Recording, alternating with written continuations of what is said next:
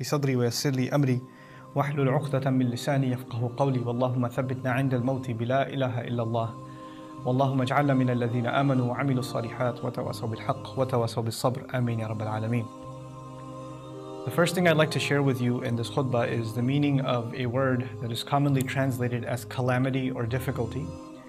The Quran's word is musibah. Uh, some of you that are from the Southeast Asian subcontinent, a lot of people use the word musibat and use it for a terrible thing that's happened. It comes from the Arabic verb asaba, which actually means to hit a target or to correctly hit a target.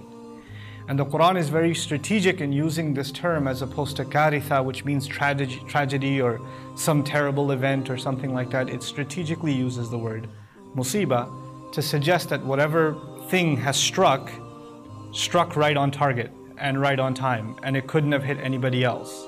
So whatever calamity has taken place is not an accident. There's no question, why is this happening to me? It could only have happened to you. It couldn't have happened to anybody else. Why is this happening now? It could only have happened now. It couldn't have happened at any other time because it's right on target. It's the thing that hits on target. That's the term that's used for difficult circumstances or situations that we find ourselves in in life. And life is full of them. Allah Azza wa says, لَقَدْ خَلَقْنَا الْإِنسَانَ فِي كَبَدٍ We created the human being in the middle of a lot of difficult labor, toil, so that's just part of human life. Sometimes there are, and by the way, what are the natures of these calamities? We're not just, on the one hand, talking about things like earthquakes or volcanic eruptions or tornadoes and hurricanes and rainstorms and things like that, right? So that is a reality. And that's why Allah says in another place, مَا أَصَابَكُم بِمُصِيبَةٍ فِي الْأَرْضِ No calamity that strikes to you on the earth, meaning earth-related calamities you can even argue here. But that's not the only kind of calamity. It's not just the earthquake that happens on an island or somewhere. It's also the earthquakes that happen inside of ourselves. وَفِي أَنفُسِكُمْ You know, فِي الْأَرْضِ وَفِي أَنفُسِكُمْ Inside of yourselves. There's a huge tragedy or calamity taking place between a husband and a wife, or between parents and children, or between someone who's stuck in some, you know, awkward or very difficult family circumstance or situation. There are people that are stuck in a very difficult financial situation. There are people that are stuck in all kinds of traumatic problems, and this could be related to your, you know, your emotional health. It could be related to your physical health. It could be related to all kinds of things. But the thing here that I wanted to highlight is what is the role of our iman, the fact that we're believers, that we believe in Allah Azza and our ability to deal with calamity. And how are we supposed to respond to calamity as believers?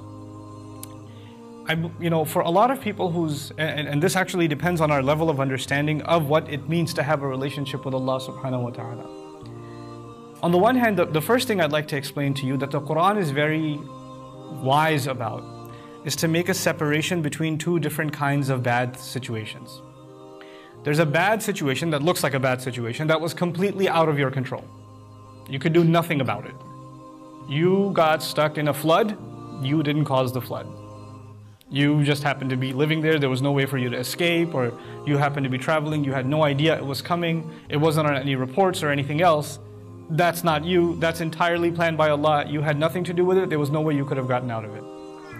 This is not the same as someone who reads the news report and says, hey, there's a, there's a, major storm coming, please evacuate the city, and it's, there's, there's a tsunami heading our way, and somebody says, you know, this is a good time to check out the beach. And they head towards the beach and then something bad happens to them, they don't get to say, oh, Qadar Allah, what can I say? Allah had decided that I was gonna run into this. Uh, you don't get to say that. And Allah is very clear about that. He subhanahu wa ta'ala says, ما أصابكم وما أصابكم من مصيبة فبما كسبت أيديكم. There's there's not a calamity that strikes you, and there's any manner of calamities that strike you or something that hits you, is because of what you earned with your own hands. You brought this on yourself. Now, that's if you only thought of it that way, that would also be a problem.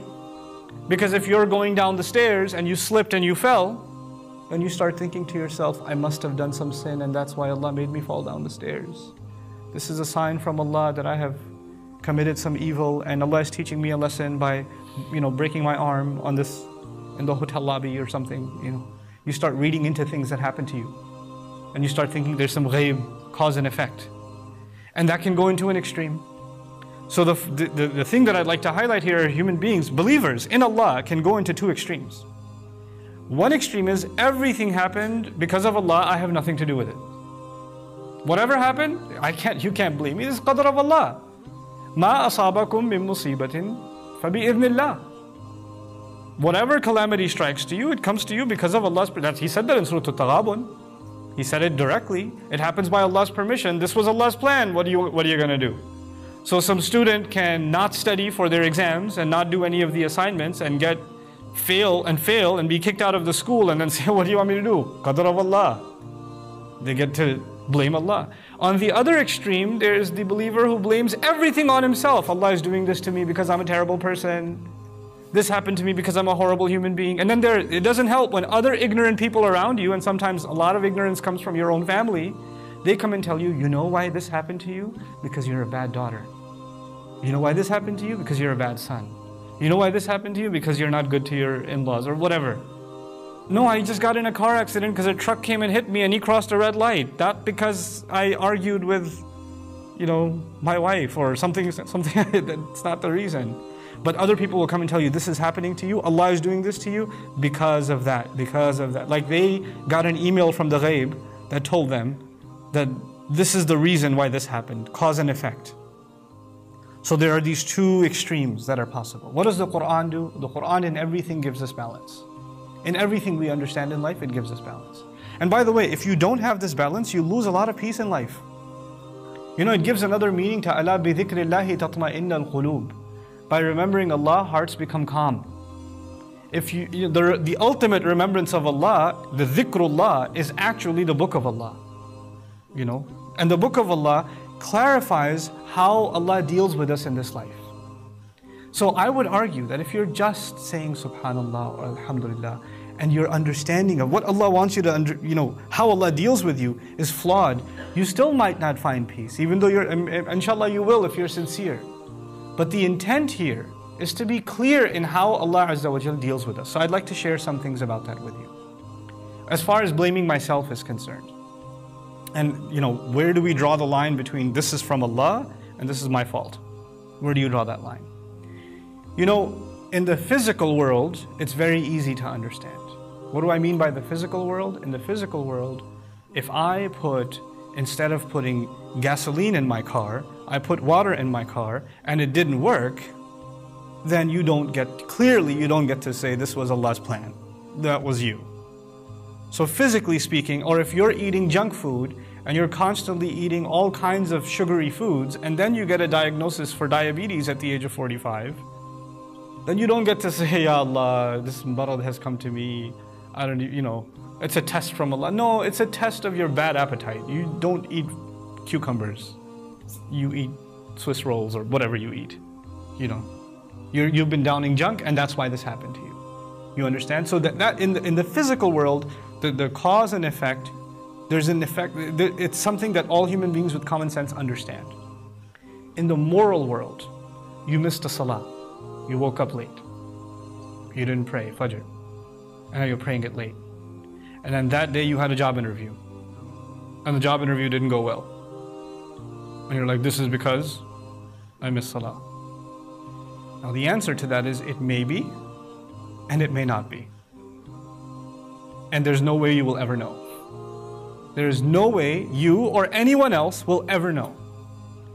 But the thing that will help you is ana inda dhanni abdi bi. The thing that will help me is that Allah says, I will be as you assume me to be. If you're assuming Allah took revenge from you and put this on you because you missed Fajr, then that's who Allah is to you now. If you assume, no, this is better, this, this job, I tried my best, I did a good job at the interview, but this was not a good job for me. Had it been good for me, Allah would have let it go. Allah, Allah would have given me this job. If you have that attitude, then that is who Allah is to you, despite all of your mistakes, despite you missing, waking up late.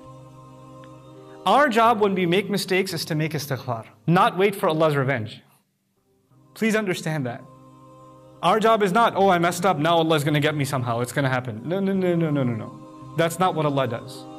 Which is why Allah says, ما أصابكم وما أصابكم من مصيبة فبما كسبت أيديكم whatever calamity struck you, whatever difficulty you find yourselves in, a lot of it has to do with what you did yourselves, with your own hands. You brought this on yourself. And even in the spiritual sense, sometimes there are difficulties that come on us because of our deeds. If you are, for example, continuously horrible to your parents, and then bad stuff comes to you in your life, then probably there is some connection. There is some, and then in those kinds of cases, what does Allah do? وَيَعْفُو عَنْ كَثِيرٍ He says He pardons a lot too. In the physical world, if I jump off of a second floor building, there are going to be consequences. Allah will not say, no, this time I'll forgive you, I won't break your leg. No, no, it's, it's gonna have, what's gonna happen is gonna happen.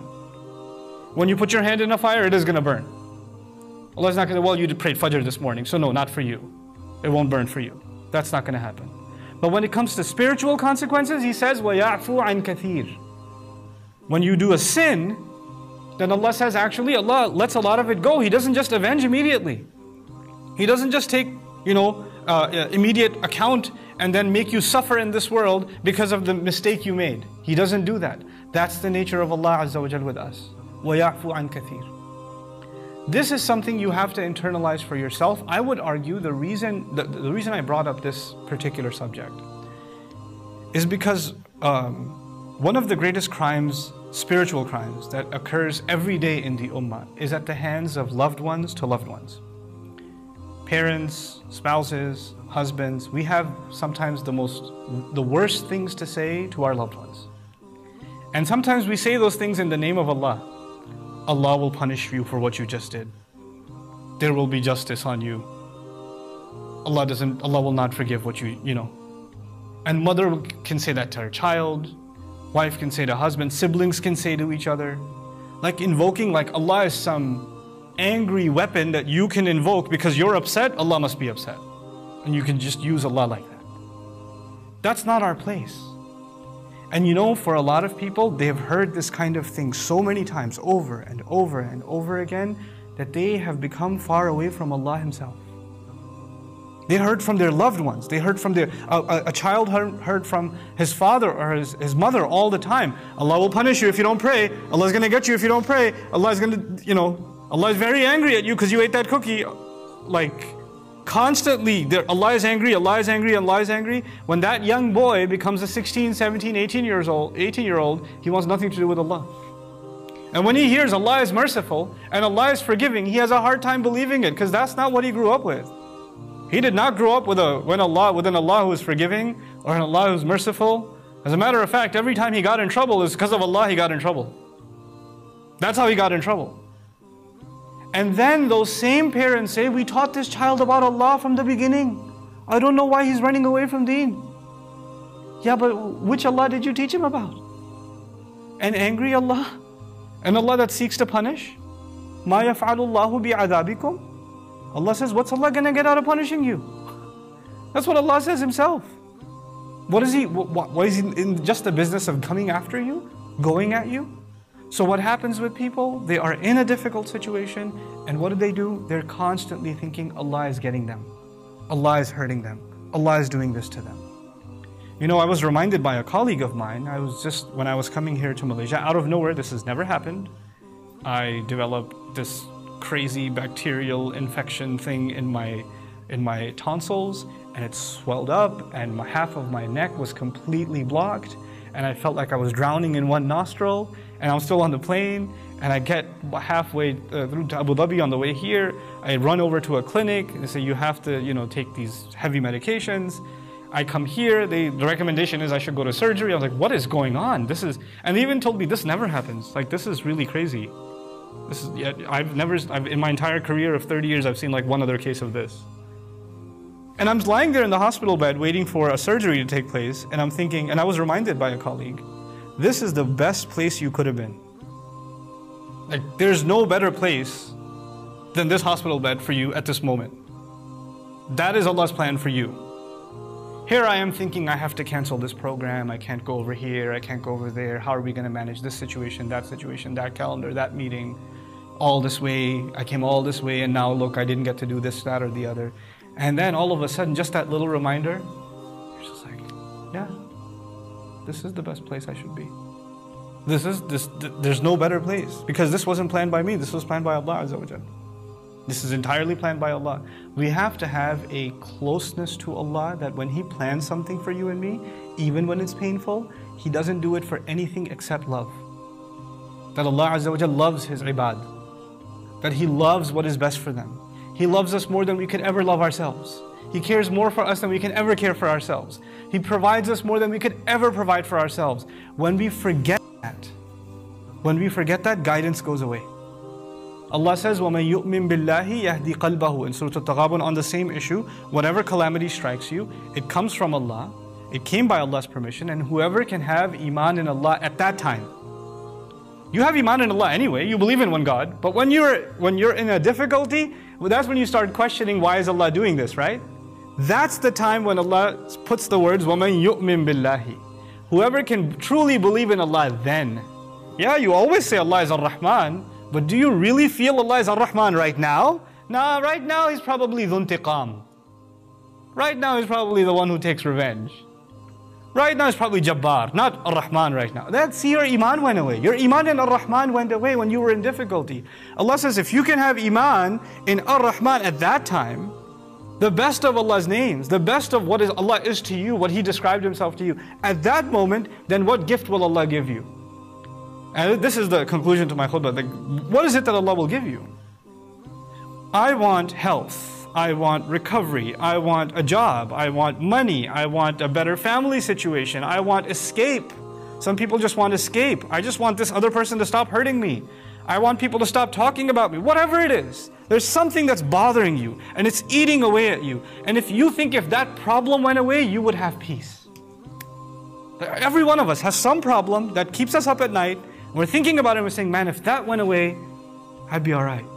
Guess what? When that one goes away, there's going to be another one.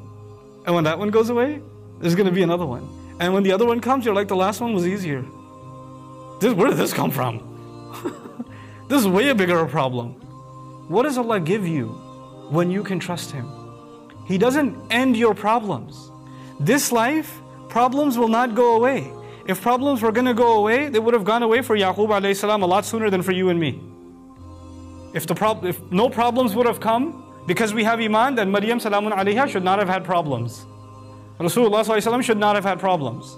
You study the people that are closest to Allah, and all you're studying are problems. Really big ones, their entire life. That's all you're studying. You're just learning about one problem to the next, to the next, to the next, to the next. That's all you're learning. Yusuf alayhi salam, a great profound messenger of Allah, and I mean from childhood there are problems. From childhood there are problems. So what I keep asking that question. What is it that Allah has given you? What do you get when you completely put your trust in Allah in the middle, in the thick of a difficulty when everybody else is telling you Allah is on the one hand people are telling you Allah is angry at you, that's why this is happening. Allah hates you, that's why this is happening. On the other hand, you start thinking Allah is punishing me, that's why this is happening. At that moment when you can have the best uh, uh, impression of Allah and maintain your love and reliance and bond with Allah, that Allah is, has not let you go he hasn't, what does He give you? Yahdi qalbahu. He guides this person's heart. He gives their heart guidance.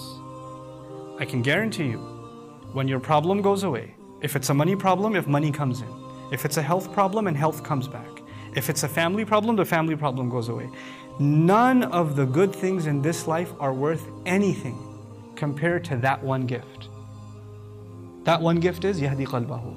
He'll guide his heart your heart will be at peace. No matter what is happening in life, there's still a smile on your face. And people are looking at you and saying, Why are you smiling? Why are you okay? Look at what's happened to you. Look at what's going on. Yeah, it's okay. It's fine. It's cool. When you can develop that, there are people that will have all the money in the world and they still can't sleep. There are going to be people that have everything you ever imagined will bring happiness. They have it and they don't have peace. They don't have, they, they, they, they, they are not happy with themselves. They drown themselves in drugs and alcohol to get, to escape reality. They can't face reality. And other people watch videos about how, how, how amazing their crib is and how sweet their ride is. And they're looking at that and saying, I want that. Ya layta lana mithla ma utiya Qarun. I wish we had what Qarun has. Man, that's, that's some boss life he's living.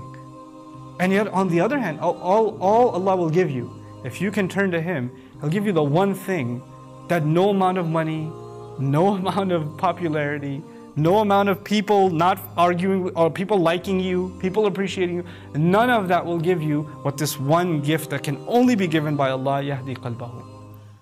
Allah will guide his heart. Allah will guide this person's heart. This is the ultimate gift of Iman. This is the ultimate gift of musibah. So now, let's finally let me conclude. I started this khutbah talking about difficult situations. People are stuck. You're stuck. I'm stuck. In some situation, we, we don't see a way out. Those difficult situations are actually Allah's way of giving us the most valuable gift we could ever earn. His way of guiding our hearts. If we can just use those situations to find Allah in those situations, to talk to Allah in those situations. And you don't have to know Arabic to do that. You don't have to know a lot of Quran to do that. You just turn to Allah and you say, Ya Allah, you are the best of planners. Ya Allah, nobody loves me like you do. Nobody cares for me like you do. I know this situation is best for me. Guide me. I need your guidance. There is no way that you will turn to Allah genuinely asking Him for guidance and He will turn you away. You will ask Allah for a car, He may not give you. You can ask Allah for a house, He might not give you. You might ask Allah to cure your disease, He might not. Maybe He will, maybe He won't, because He knows what's better for you. But one thing guaranteed He will give you when you ask Him sincerely is His guidance. That He will give you. And when He gives you that, everything else is solved. Everything else is taken care of. May Allah Azza wa make us people who truly, genuinely beg for His guidance. And may Allah make all of our difficulties, all of the challenges we have in our life, a means by which we draw closer and closer to Him and earn His priceless guidance. بارك الله لي ولكم في القرآن الحكيم ونفعني وإياكم بالآيات والذكر الحكيم